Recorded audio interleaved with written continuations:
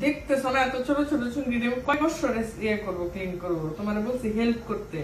তো তুমি এত ছোট ছোট চিংড়ি কিনছো কেন? আরে আমি কি বুঝছি নাকি? সারা জীবন তো খাইছি খাইছি ভাজি। আমি কি জানি যে এরকম? আমার মনে হয় না এগুলার বাছাবাছির কি কোনো করব? এই- এই যে এইসব ময়লা সহ খাব?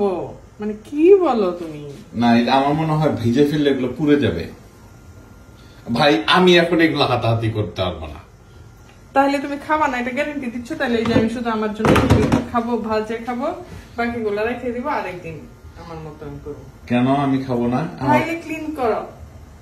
আরে ফাইজলামি না দুই ঘণ্টা লাগবে। মোটা দুই ঘণ্টা লাগবে না। আমি ঘর ক্লিন করে দিব তো।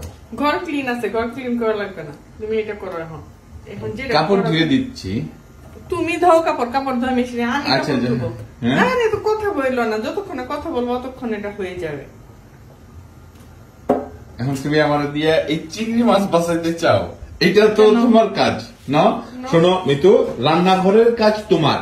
রান্নাঘরে আমার কোনো কাজ নাই। তোমার যে চালাকি তুমি- তিন বেলা তুমি- খাবা তুমি ঘর আর করবা আমি তিন বেলা খাব আর তুমি তিন বেলা খাবা না? আমি নিজে রান্না করে খাই। আমাকে কেউ তিন বেলা রান্না করে শোনো আমরা ইয়া করে নিছি রান্নাঘর তোমার রান্নাঘরে কোনো কিছু আমি ধরবো না। তারপরে রান্নাঘর আমি ক্লিন করি। আমি গুছাই বাটি বুটি গুছাই হ্যাঁ, এগুলো হ্যাঁ, গুছাই হ্যাঁ। ইয়া আমি ক্লিন করি। কিন্তু ঘর পরিষ্কার করা তোমার দায়িত্ব সেটা মাসে একদিন। আর খাই আমরা তিন বেলা। মিতু ঘরে একটা ছোট বাচ্চা আছে এটা মাসে একদিন। আল্লাহ তিরিশ দিনই ক্লিন করি। জি না।